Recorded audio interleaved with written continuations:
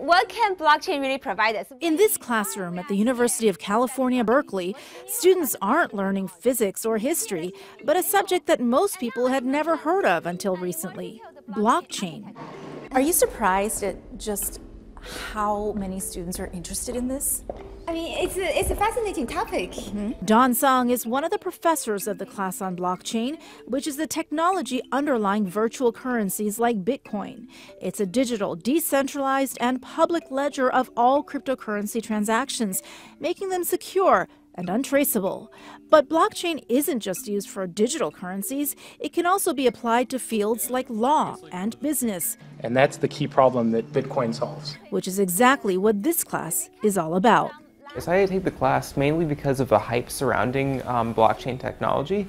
So it's I figure it's best to get in now on the ground floor and start building it up. The rise and fall of the prices of Bitcoin and other virtual currencies created a frenzy in the markets, which spread to college campuses. We have this, uh, this bidding system for all classes, and so I kind of bid almost all of my, my points on this class uh, to make sure that I, that I would get in. Here at UC Berkeley, fewer than a quarter of the mostly graduate engineering students who applied got into the class.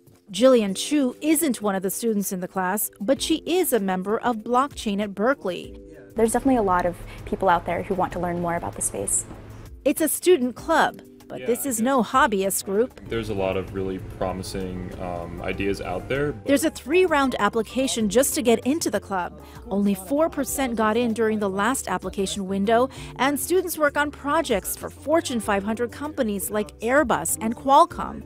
Part of the culture here is that we you know, expect nothing but the best from all of our members.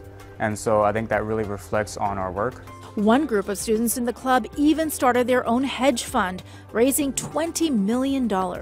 Still, most students we talk to say they're learning about cryptocurrencies in college to make the world better, not to make money.